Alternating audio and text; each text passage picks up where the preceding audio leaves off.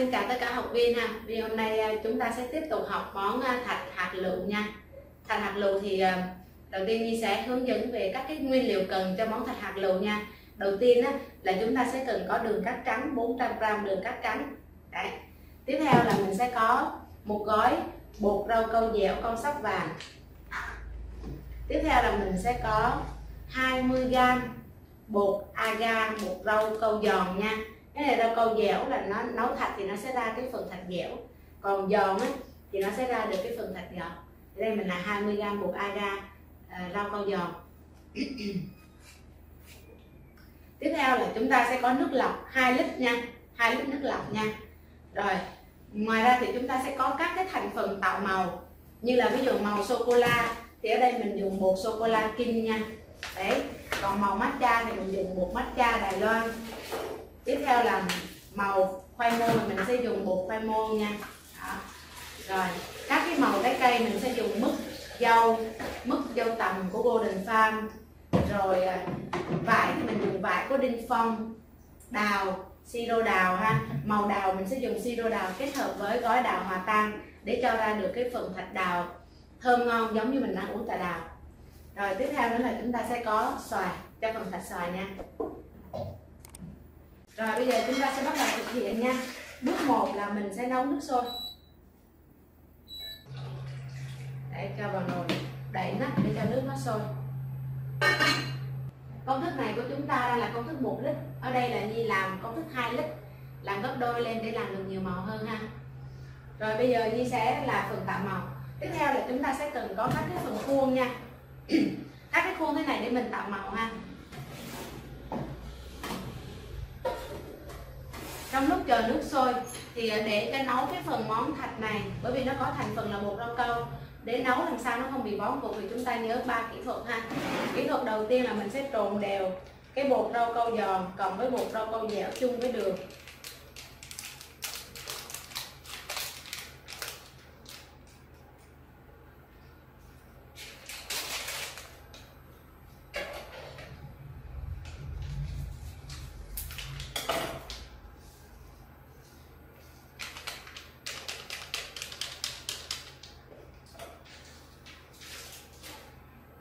Rồi, kỹ thuật đầu tiên là mình sẽ trộn đều bột rau câu giòn và bột rau câu dẻo chung với đường nha.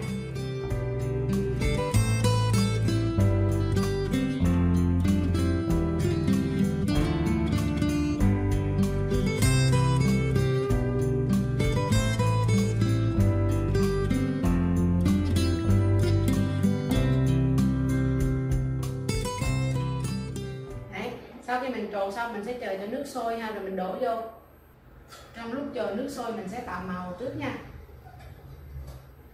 Cái phần thạch này là 2 lít nếu mình chia cho 8 phần thì mỗi phần sẽ là 250 ml nước nha. Nước thạch đây cứ 250 ml nước thạch thì chúng ta sẽ dùng 10 g bột sô cô la 2 g bột matcha 20 g bột khoai môn ha. Còn nếu mà dùng thạch sữa thì chúng ta sẽ dùng 100 ml à, kem béo rít rồi bây giờ Nhi sẽ tạo màu thạch trước ha rồi mình sẽ tạo màu cho mấy cái món ờ, dâu rồi đi ha. Hạt dâu này Nhi sẽ dùng cái mức dâu nha 50 ml cho 250 ml nước hạt nha. Mình lấy 50 ml mức dâu cho 250 ml nước hạt. Đấy, dâu tay tiếp theo cũng là dâu tằm. Dâu tằm thì cũng là 50 ml nha cho 250 ml nước hạt. Dâu tằm 50ml để cho 250 ml nước thật nha.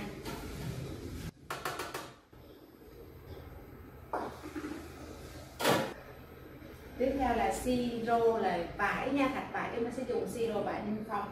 Mình sẽ dùng 50 ml siro vải.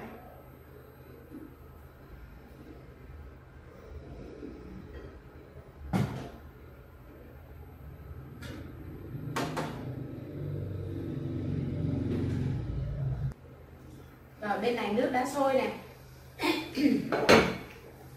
Nước đã sôi thì chúng ta phải tắt lửa nha. Và dùng que khuấy này này khuấy cho nó tạm bớt nhiệt đi. Rồi mới cho cái hỗn hợp bột rau câu và đường vào.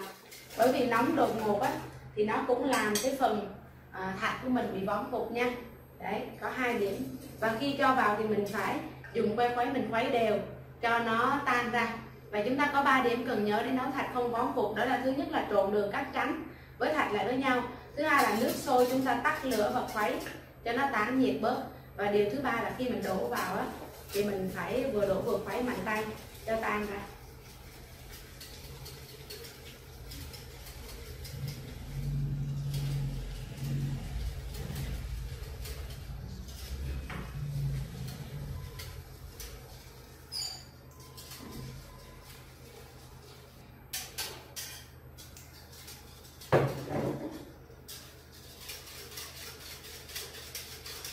mình sẽ đánh cho cái phần à, thạch à, bột thạch và đường tan hẳn ra. Đó rồi. Tiếp tục là mình bật lửa lên. Mình nấu lửa lớn nhất luôn nha. À, khi mà bắt đầu thạch nó sôi lên sôi lớn lên thì mình sẽ giảm lửa nhỏ và nấu trong vòng vòng 5 phút để cho cái thạch của mình nó chín ha. Tại vì khi thạch nó chín thì nó sẽ lâu chảy nước hơn thạch mình sẽ ngon hơn. Rồi tiếp theo chúng ta tiếp à, cái phần công đoạn tạo màu nha mình sẽ tạo tiếp theo là màu à, xoài ha. 50ml thạch 50ml siro xoài, cho 250ml nước thạch xoài nha.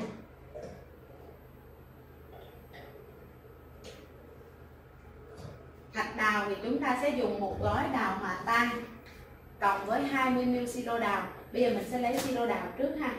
Còn đào hòa tan thì mình phải à, hòa tan nó trong nước ấm thì mới được. 20ml siro đào và một gói koji đào hòa tan cho 250ml nước thạch nha.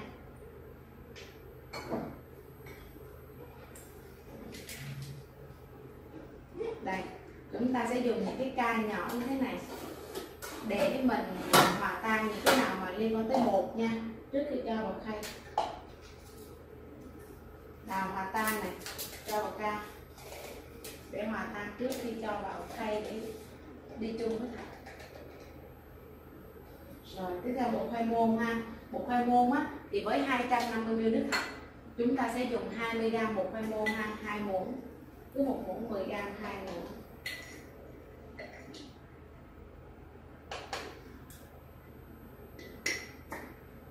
Tiếp theo bột sô cô la nha.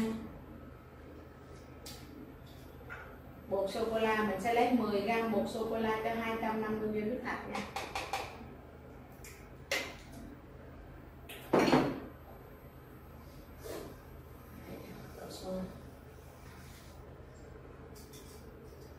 Thạch sôi rồi, chúng ta sẽ giảm nhỏ lửa nha.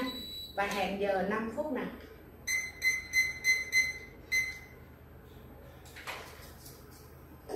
Tiếp theo là một mắt ga, mình sẽ lấy 2 gam một mắt ga cho 250 250 ml nước thạch. 1 đến 2 gam một mắt ga nha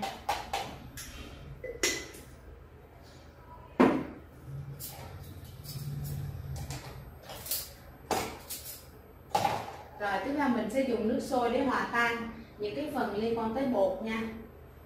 Mình cho 10 ml nước sôi vào trong cái phần à, đào hòa tan 20 ml nước sôi vào bột khoai môn 10 ml nước sôi vào bột sô cô la 10 ml nước sôi vào bột matcha.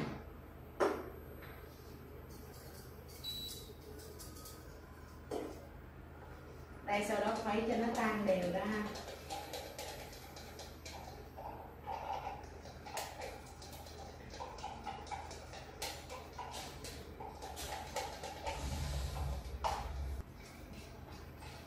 trong cái phần thạch khoai môn nè, thạch matcha và thạch sô cô la để ngon hơn, thì chúng ta cho thêm 50 ml kem béo thực vật rít vào nha. Khuấy đều đây chúng ta sẽ lấy 50 ml kem béo thực vật rít nha.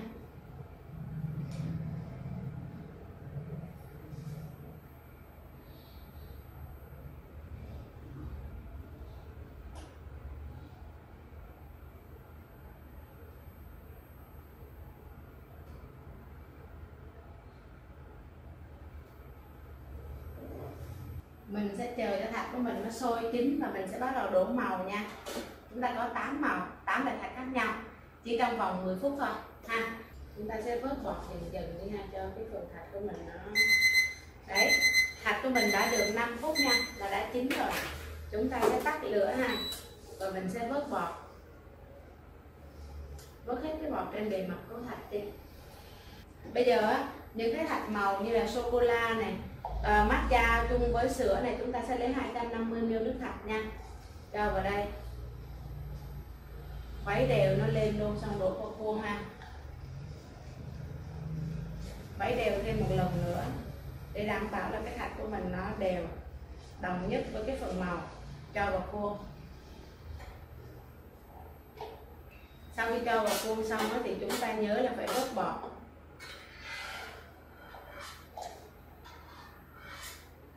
rồi xong tiếp theo, màu tiếp theo là chúng ta làm màu khoai môn mình cũng lấy 250 ml nước hạt luôn, cho vào môn rồi, mình cũng cho nó vào cái khay và khuấy đều nha. Rồi, sau đó đổ ra khuôn luôn. Thì mình sẽ có được cái phần là hạt môn những cái nào mà không tan hẳn thì chúng ta múc nó ra. Mình sẽ à, vớt bọt nha.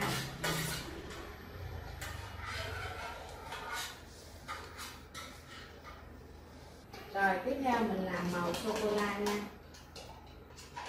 Màu sô cô la chúng ta cũng lấy 250 ml nước hạt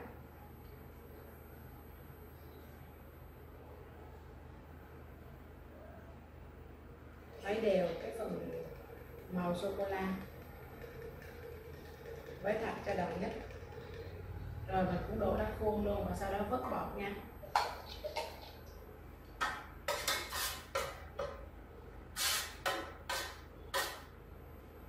Tiếp theo mình sẽ tạo màu cho các món khác ha dâu 250 ml nước hạt luôn.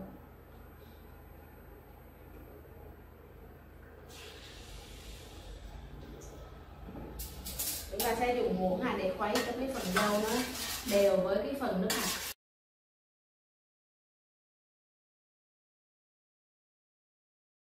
Rồi, tiếp theo, mình sẽ lấy 250 ml nước thạch cho vào cái phần dâu tằm ha, để chúng ta có được thạch dâu tằm.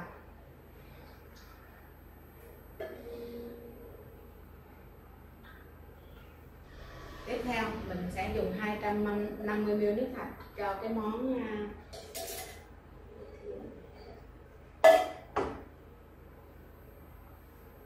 món thạch vải nè. Và lưu ý là thạch vải thì nó rất là chua nên chúng ta sẽ lấy thêm 20 ml nước đường cho vào đây nha. Đấy. cùng một lượng đường trong nước thạch. Nhưng mà cái siro vải nó chua nên mình sẽ cho thêm đường để đảm bảo cái thạch vải của mình không bị quá chua.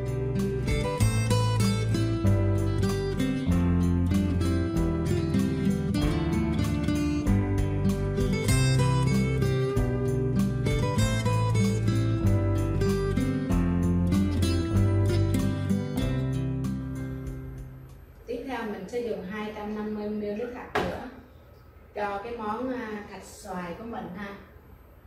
Thạch xoài này. Đấy. Rồi mình cũng sẽ dùng muỗng để khuấy đều nó ra.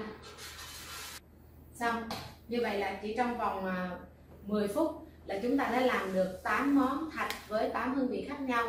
Dâu dâu tằm, vải, xoài, sô cô la, matcha, khoai môn và thạch đào. Vậy là chúng ta đã vừa hoàn tất xong phần hạt hạt lựu ha. Và hạt này cách bảo quản là chúng ta cũng sẽ để nguội. Sau đó mình sẽ cho vào ngăn mát mình để 8 tiếng. Rồi mình sẽ dùng các cái loại dao chấm hạt nha.